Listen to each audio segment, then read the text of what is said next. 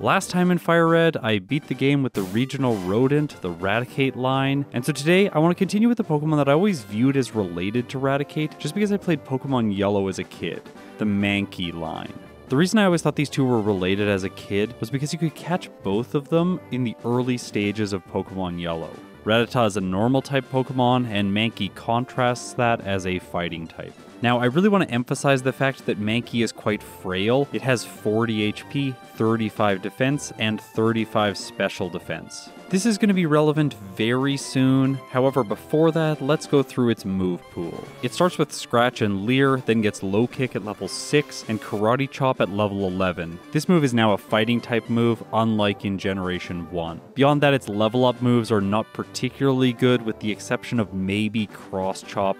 However, 80% accuracy and 5 PP are just not particularly good for solo challenges. However, the Mankey line has a fantastic TM and HM set, it really gets a lot of great coverage moves. For example, Iron Tail, Thunderbolt, Rock Tomb, and Aerial Ace. It also gets Overheat and Sunny Day, which is kind of cool, and then through move tutors, it gets some more fantastic moves. Mega Punch, Mega Kick, and Rock Slide. Remember, Double Edge is not very good because I hate recoil damage, and the Body Slam move tutor is inconveniently placed for solo challenges. Also, I should mention Substitute, which I have talked about previously in this series. With Primeape, we are continuing to make our way through backlogged footage. This one was recorded on June 23rd, so I still had no idea that I could get Substitute in Fuchsia City. So unfortunately today, we won't see this move in action. On the earliest routes of the game, I want to draw your attention to the move Low Kick, which Mankey has learned by now. This move deals damage based on the opponent's weight. This is new for the move, starting in Generation 3. Before that, it had a base power of 50 with an accuracy of 90 and a 30% chance to cause a flinch. So I'm going to bring up this chart, which is Low Kick's power based on the weight of the opposing Pokemon. Now, weight is something that is sort of hard to get a sense for because there is no way for you to see this other than consulting the Pokedex. And I don't know about you, but I have not gone through the Pokedex and memorized every Pokemon's weight. So I figured it would be convenient for all of us to have Low Kick's base power dynamically calculated by my overlay. So during battle, it will use the opponent's weight to calculate Low Kick's base power, and then it will adjust it based on the type effect effectiveness modifiers as well as same type attack bonus, etc. One small note I want to make here is that when it was changed in Generation 3, this move lost its ability to flinch the target.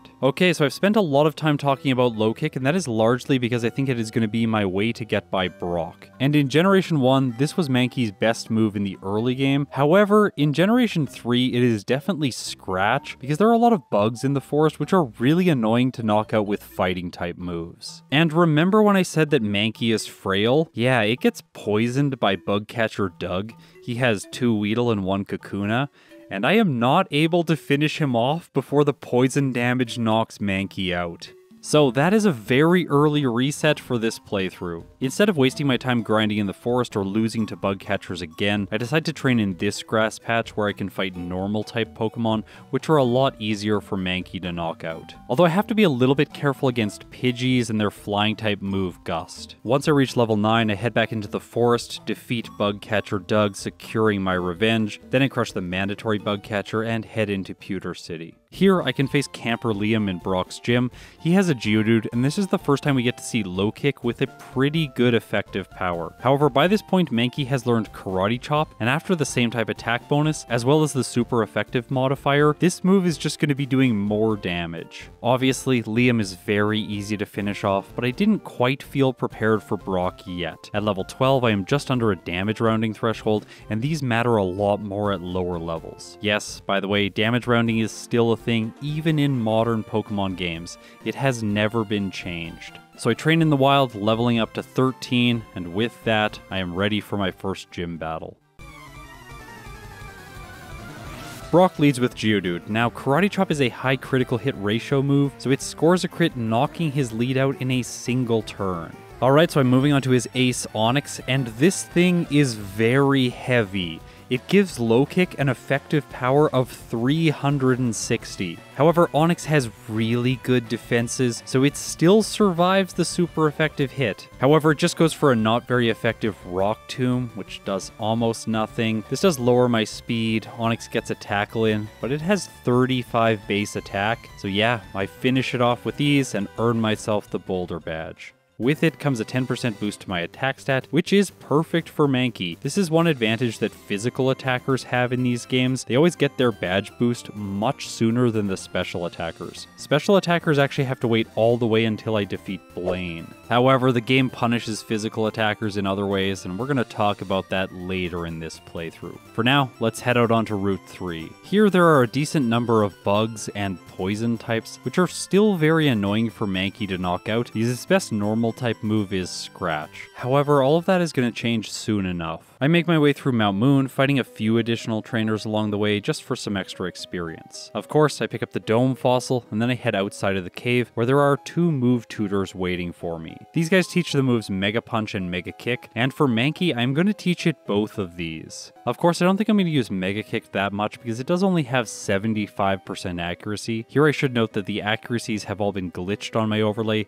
I caught this just before the rival fight, so it will be corrected from here on out in the video. One more thing I want to note about the move tutors in Generation 3 is that all of them replace TMs that were available in Generation 1. This is actually very convenient for me for my backport series because I can check a Pokemon's Generation 3 learn set and determine which TMs it would have learnt in Generation 1 just by looking at the move tutors. So thank you Game Freak for thinking of me all of those years ago. Now I'm heading into Cerulean City and Misty is obviously much better in these games than she is in Generation 1, so the right battle for me to do now is the rival on Nugget Bridge. However, this could be a little bit tricky for Mankey because his lead is a Pidgeotto and it knows Sand Attack. However, Pidgeotto is a pudgy bird because Low Kick actually has decent power against it. Unfortunately for me though, it still takes two turns to knock out, so I have my accuracy lowered once by Sand Attack. But that was probably the hardest Pokemon on the Rivals team. His Abra that's next only knows Teleport, so it can't do any damage to you unless it depletes all of its PP and starts using Struggle, but like, I don't think that that's ever gonna happen. After that, I finish off the Rattata in two hits and move on to his ace Charmander. Here I go for Karate Chop just in case I get a critical hit, and I luck out finishing his last Pokemon off in a single hit. The next section of the game brings some moveset upgrades to Mankey. First of all, I can teach it Focus Energy. In this case, I decide to teach it over Low Kick, just because weight-based damage is very contextual, and there aren't a lot of heavy Pokemon that are significant in the future. Like, Giovanni has some Rhyhorns, but they're pretty bad in this game. Outside of that, I guess Giovanni has an Onix, and Bruno has two Onix, but they're Onix, so yeah, no more Low Kick. Also, I haven't used it yet, but I am keeping Mega Kick just in case I need it for massive damage against Misty. Also, at the end of Route 25, I am able to pick up the TM for Secret Power. It has 10 less base power than Mega Punch, but it does have 100% accuracy, and on normal terrain, it has a 30% chance to cause paralysis. This move is essentially the Generation 3 Body Slam, and most Pokemon end up using it. So just before Misty, I teach it in the place of Mega Punch. To fully prepare for the battle, I give Mankey a Persim Berry, and now I'm ready to take on Misty. She leads with Staryu, which is conveniently not a psychic type, and here I want to get set up with Focus Energy. This move actually works in Generation 1, so that's nice. However, Mega Kick refuses to work because it misses twice against the Staryu before I finally hit and knock it out. Because of my luckless Mega Kicks, I'm essentially relying on a critical hit against the Starmie, which I don't get, so it finishes Mankey off, giving it its second reset of the run. The most consistent approach is going to be coming back to this fight with a Primeape. Therefore, I head to the S.S. Anne so that I can do the mandatory battles here to level up. Also, this area provides me the very useful TM for Brick Break. While Karate Chop does more damage when it gets critical hits, Brick Break is just going to be overall much more consistent. And if you've watched a lot of my videos, you'll know that I love consistency, so obviously I'm going to teach this to Mankey right away. Now, let's take on the rival on the S.S. Anne. His lead is always one of the Pidgey line, which is really frustrating. Also, it survives on a sliver of health in this battle, and then lowers my accuracy with Sand Attack. It also puts in work with Gust, taking me down to orange health before I knock it out. Then, because the AI is decently smart in Generation 3, he sends in Kadabra next, I miss, and it finishes me off with Confusion. That's reset number 3. Instead of fighting the rival again, I decided to prepare more by fighting optional trainers and evolving into a Primeape. This evolution increases Mankey's base stats across the board by 25 points. So Primeape ends up with 65 HP, 105 attack, 60 defense and special attack, 70 special defense, and 95 speed. Honestly, it's a decent Pokemon for a playthrough that I have surprisingly never used myself in a casual run. Going back to the rival, I can now one-hit the Pidgeotto, as well as the following Kadabra, and the Raticate. That Brick Break was definitely the one that broke the Raticate's back. His ace has evolved to a Charmeleon, but once again, Brick Break gets the one hit, so that's a clean sweep for Primeape. So now let's return to Cerulean City and see if I can defeat Misty. Previously, I didn't outspeed the Starmie, so Evolution has given me that advantage. Obviously, I one-hit the Staryu, move on to the Starmie. I go for Secret Power here, just in case I get Paralysis, which I do, and then I finish it on the second turn. This post-evolution Misty fight was incredibly simple.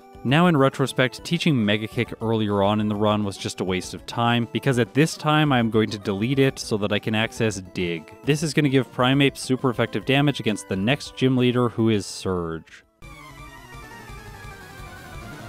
Okay, so how is he going to do today? First is Voltorb. I just go for Brick Break against it because I want to knock it out in one turn and not waste time with Dig. After that, he sends in Pikachu, which I also Brick Break just so that it doesn't set up Double Team. However, because this move makes contact, it does activate Static, paralyzing Primeape. But I've prepared for this with a Cheri Berry, so I heal the status condition and move on to the Raichu. Now, I know I taught Dig specifically for this fight, but what if I just use Brick Break on the Raichu?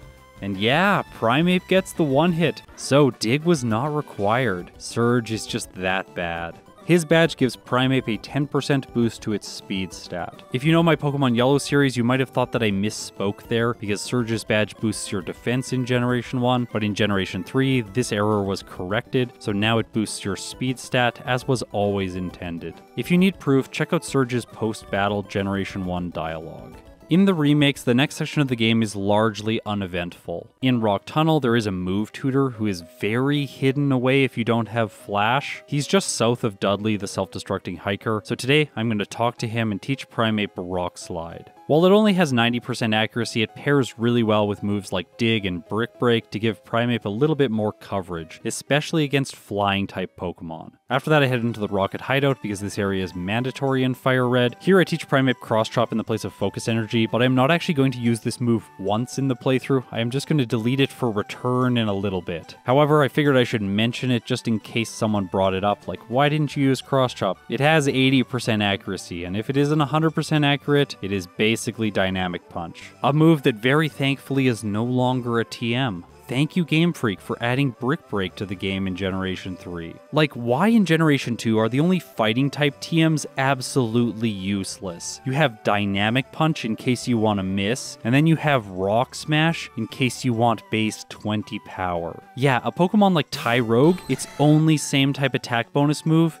is Rock Smash. That gets me so frustrated. Anyways, back to the Primeape playthrough. Of course, Giovanni's easy, and then I head to Pokemon Tower to take on the rival there. Alright, Pidgeotto's the lead. Will I continue to one-hit it? This time I have Rock Slide for super effective damage, and it goes down. I really hope that that is going to be a trend that continues throughout this playthrough because getting hit by Feather Dance is brutal. Next is Exeggcute, Return takes it to red. It does basically nothing with Confusion, and I finish it on the next turn. I outspeed the following Kadabra, Actually, Primeape has almost double its speed by this point, because Primeape is fast, I have badge boosts on my side, and as we found out in the previous video, the mandatory battles in Fire Red give you a lot of speed EVs. I think this is very interesting because it provides a major contrast to a game like Pokemon Yellow, where speed is incredibly important in the mid game. That's largely due to the fact that the gym leaders received a major level boost from Red and Blue, which is not present in Fire Red, and also you need Koga's badge to boost your speed. And after all, it can be difficult to obtain because he does have the psychic flying type Venomoth. The rest of the rival battle wasn't notable, so let's move on. On Cycling Road, I skip all of the optional battles, figuring that Primeape is doing pretty well right now. Let's just continue and see how far the momentum goes. After the Safari Zone's complete, I head into Erika's gym to take on the fourth gym leader. Up first is Victreebel. I go for return, it takes it to orange, and then Victreebel paralyzes me. Erika uses a hyper potion, but it doesn't prevent two more returns from hitting, and with that, her lead goes down. Next is Tangela. This thing is really bad. Like, I guess it has Giga Drain, but other than that, it's kind of useless. After that, Vileplume comes out. Now, its most intimidating move is Sleep Powder, However, Primeape has vital spirit, so it couldn't get put to sleep anyways. By the way, this does mean that Primeape cannot use the move Rest for recovery, despite being able to learn it through TM, which I find really weird. It seems clear that Game Freak prioritizes very young players in their games, but then why did they give this thing Rest as a possible move? Game Freak, are you trying to bait 10 year olds into using their Rest TM on a Primeape, then to only have them find out that this move doesn't actually do anything? Anyways, it's just a strange design choice. Obviously, Erika was easy, so let's move on now. At this point in the playthrough, I have to decide where I'm going to go next. Do I face the rival in Silph, or do I take on Koga? Overall, the rival is generally much harder to defeat just because his team has good type diversity, whereas Koga has his awful mono poison team from red and blue. So I figured facing him first would be the safe bet. Up first is Koffing. Now this thing has Levitate, so I have to use Return to knock it out, and it takes two hits. Next, Koga sends in Muk. Unfortunately, Return does just under half to it. It poisons me with Toxic, but the Pecha Berry counters that, and I take Muk to low health with Return. Now that was definitely a mistake. The consequence is that Koga is going to use a healing item on the next turn, and before that, his Muk Sludge poisons Primeape. Because I've already burnt through my berry, I cannot heal the status condition, and the Muk does get one more attack in, which in combination with poison damage finishes Primeape off. That's my fourth reset, and it was against Koga of all people. I did not expect that. Now, I'm sure some of you are going to comment, why didn't you use Dig against the Muk? Because it does do more damage. Well, Muk knows Minimize and Acid Armor, and I didn't want those moves to get out of control, so I decided to go for straight damage instead. Now, instead of grinding against Koga and trying to win, I decided to go to Silph. However, while I do that, let me talk about Koga just a little bit more. In Generation 3, the introduction of Levitate was huge for poison types. It took away the Gengar line and Weezing line's weaknesses to ground type moves. That's very significant significant for solo playthroughs because in Generation 1, Dig is primarily used as the counter to those Pokemon. Now, I said earlier that this game loves to punish physical attackers, and Levitate is one way that it does this. After all, for a Pokemon like Primeape, when it has a ground type move, it has to rely on Return to defeat Koga, and then it's going to have to rely on Rock Slide to defeat Agatha. However, this isn't where the punishment of physical types ends, because against the rival in Silph, he now has a Pidgeot. I miss my Rock Slide slide, which is very bad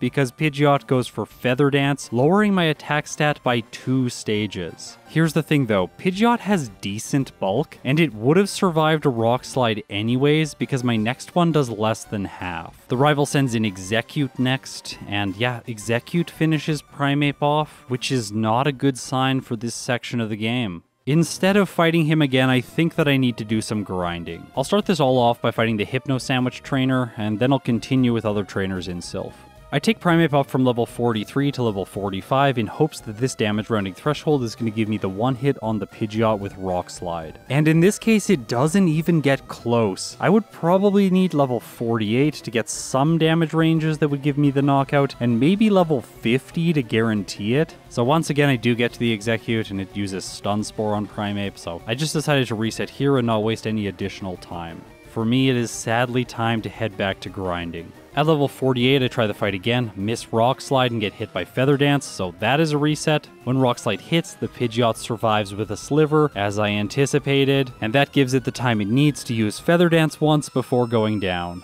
I tried to play this fight out, but once again, Exeggcute paralyzes Primeape, and by the time it goes down, I only have orange health left over. Alakazam is next. This thing does only have Future Sight as a damage dealing move, so I am able to finish it off. Oh, how this mighty Pokemon has fallen from its red and blue days. However, Charizard has got a lot of improvements. It doesn't just have Ember anymore, it now has Flamethrower as well as Wing Attack, so it finishes Primeape off. Maybe instead of fighting the rival in Silph, I should go back to Koga and see if this battle is possible. I forgot my Pecha Berry, I get my accuracy lowered by Smoke Screen, then Primeape gets poisoned, and eventually it goes down to the Weezing. However, that's a little bit encouraging. I did get further in the fight than I ever have before. Now, earlier in the playthrough, I talked about momentum and skipping all the trainers on Cycling Road. Yeah, that was obviously a mistake. I should have just fought everyone there. If I had, I would have been a higher level and likely been able to prevent a lot of resets as well as time bleed from backtracking and wandering back and forth between Silph and Koga's gym. And that time spent wandering back and forth cannot be underestimated because when you're playing on four times speed, if you say spend 15 seconds wandering, that is a minute of game time that has accumulated. That's one of the main reasons I love tracking all four metrics, because there always feels like there's some sort of pressure. If I reset, I get punished because the reset counter and the real time increments. If I backtrack, then I get punished with both real time as well as game time. And if I spend time leveling to lower the reset counter, then I am punished with both real time and game time.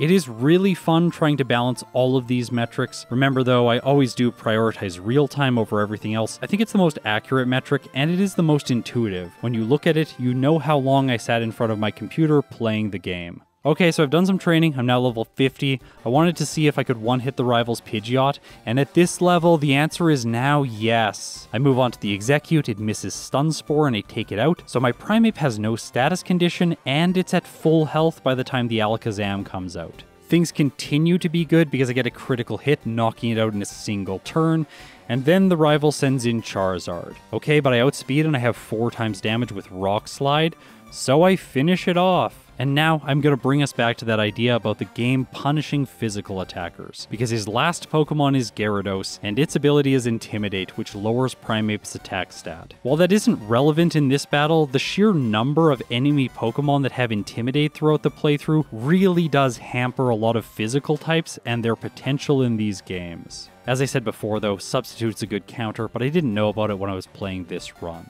So with Giovanni and all of Silph cleaned up, I wanted to finish off everything in Saffron City, so I went to Sabrina's gym next.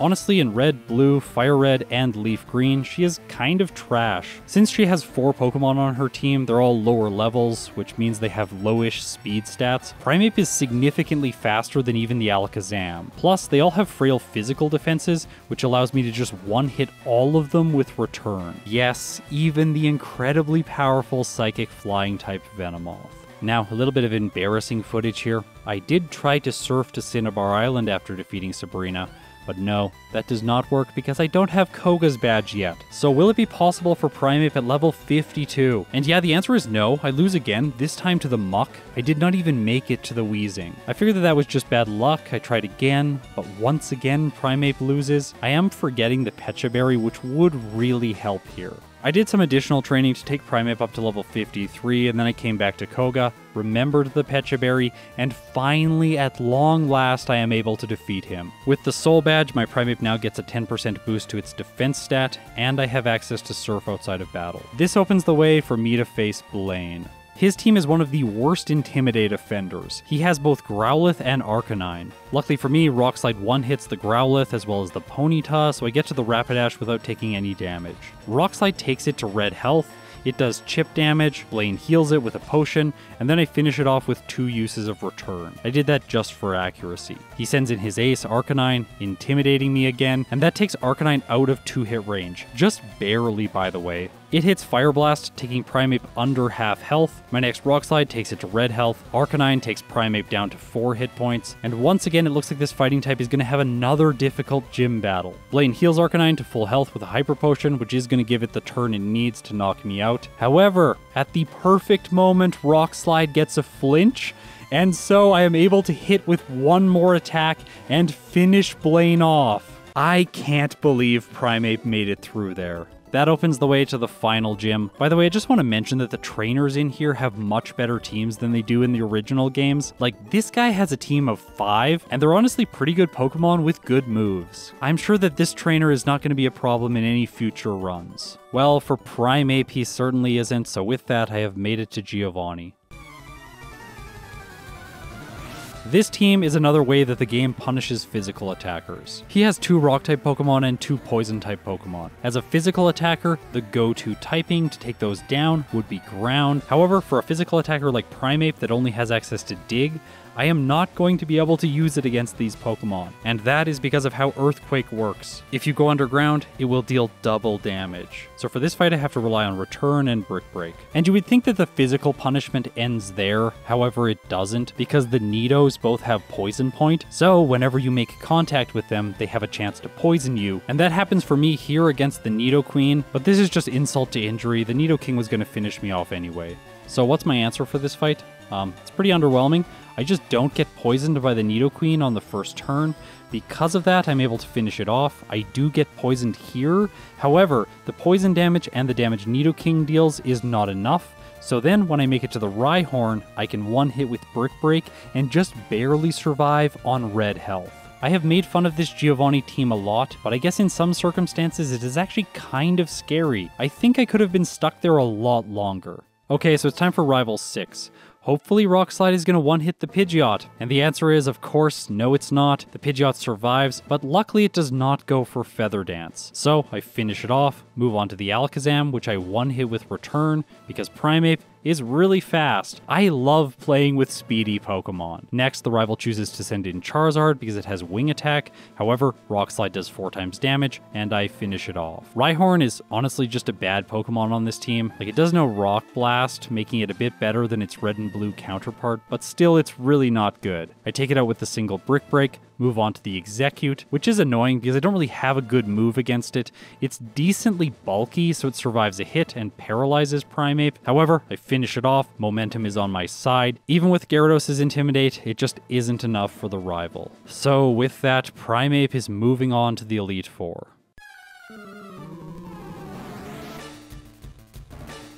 As you watch the first fight against Lorelei, note my damage ranges against all of her Ice-type Pokemon. In this case, Primeape has a type advantage, but it's just not able to put out the damage that it needs to. In solo challenges, a common solution for this kind of problem is to use a setup move. However, unfortunately for Primeape, I did not realize that it can learn Bulk Up. Plus, I had no idea where this TM is because it's not given to you conveniently like it is in the Hoenn games. If you didn't know, you can acquire it in Silph, so I really should have done that, and it would have made so many parts of the game much easier. Imagine Koga, Blaine, and Giovanni if I could use Bulk Up. For Koga, I could easily set up on either one of his first two Pokemon. For Blaine, I could set up on his Growlithe, and for Giovanni, I could set up on his Rhyhorn. This kind of major mistake is something that happens when you're new to a game. It probably shouldn't have happened. I really should have reviewed the move set and gone, what is the most important move? Probably the setup move that boosts both your primary offensive stat and one of your defensive stats. However, this is the situation that this playthrough is in, and as I've said before on the channel, I am going to report what happens, not the ideal scenarios. So in this case, there is going to be no second playthrough, of course, there is only going to be a first playthrough. So how is Primeape going to do when it's hamstrung by the player because I forgot bulk up? Well, the answer is not particularly good because I have one reset against Lorelei. However, in the next fight, things go much better.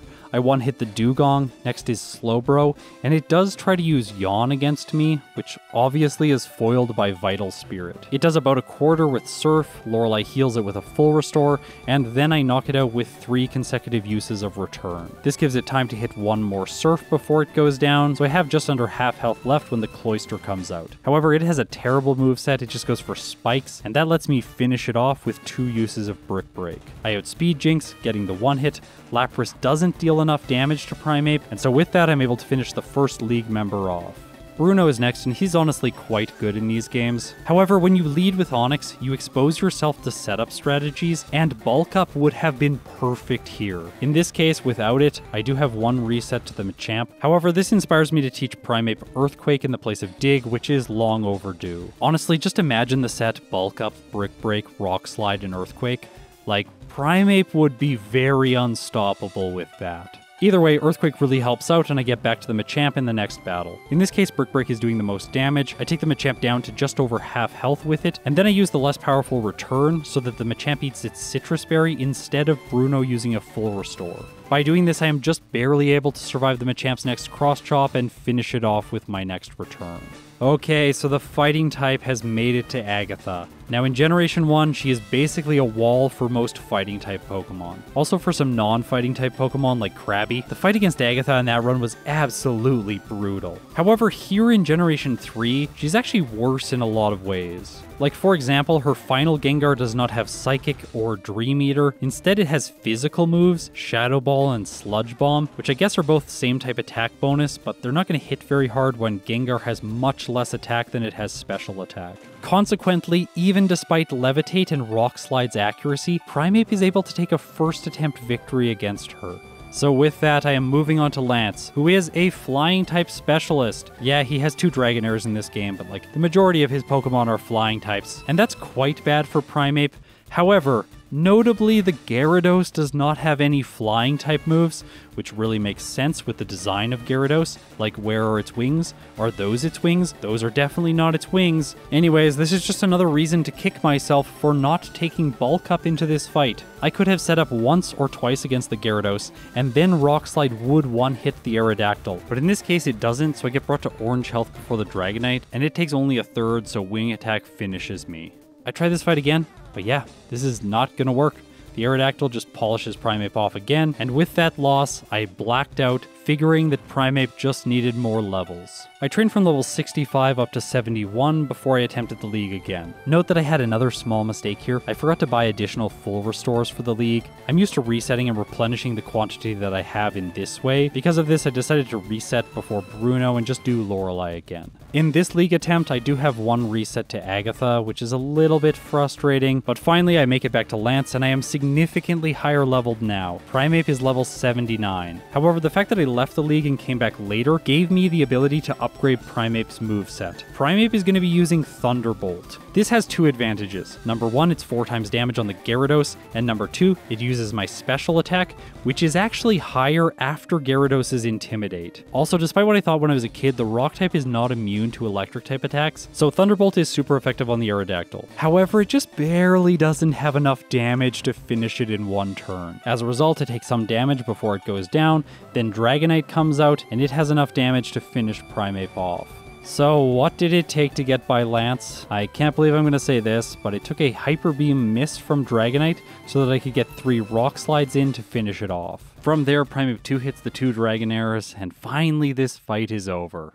Now, in prep for the champion fight, I am once again going to teach Primeape Brick Break, this time in the place of Return. By the way, if you ever want to relearn Brick Break, you can just buy the TM from the department store. That is something I've learned more recently, and it's really great that you have an option to replenish this move later on in the playthrough. Just adds a lot of flexibility. Okay, with that, I am ready to take on the champion. Can Primeape clock in under two hours? Let's find out.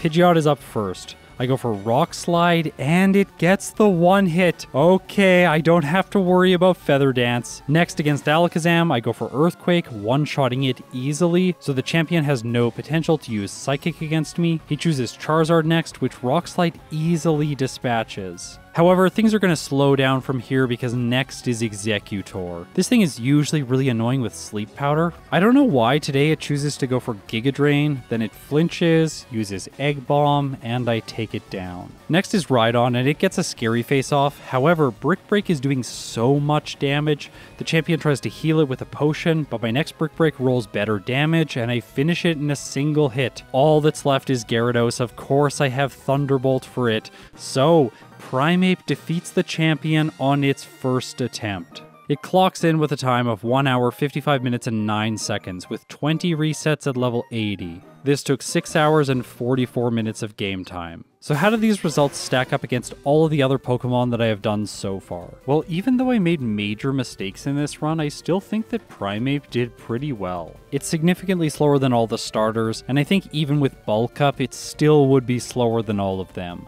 However, it's much faster than Butterfree. It is worth noting though that that was my very first Fire Red video, so I was playing terribly with the early game bug type. I think with a second attempt, both Primeape and Butterfree would improve significantly, but overall, I anticipate that the rankings will stay the same. Now, if we compare Primeape with the early game Pokemon like Raichu, Raticate, and Pidgeot, this thing was so much better. Raichu really lacks the type coverage that it needs to excel in basically any game. This is sort of the curse of electric types. They're usually only given electric and normal type moves, leaving them very susceptible to rock ground types. Using an electric type kind of feels like using a siege tank against mass immortals. If you played any StarCraft 2, you will definitely know what I mean. Raticate was largely held back by its stats and the Pidgeot on the rivals team. If it can't one hit, then it can't get around Feather Dance consistently. And speaking of Pidgeot, that line is just a mess. It really doesn't have anything going for it. Like in Generation 1, it was honestly better because it had agility and you could use that to badge boost, but in Generation 3, it's just a fast flying type with agility. I guess that's good if you get hit by Scary Face. Anyways, after the suffering from the last few videos and the major mistake in this one, I think it is time to play the game with a Pokemon that will crush. So in the next Fire Red video, I will be playing the game with Nidoking, the original speed running Pokemon itself. If you support me on Patreon or through YouTube memberships, it means the world to me. Thank you so much. And now, if you've made it this far in the video, you're incredible. I'll see you in the next one.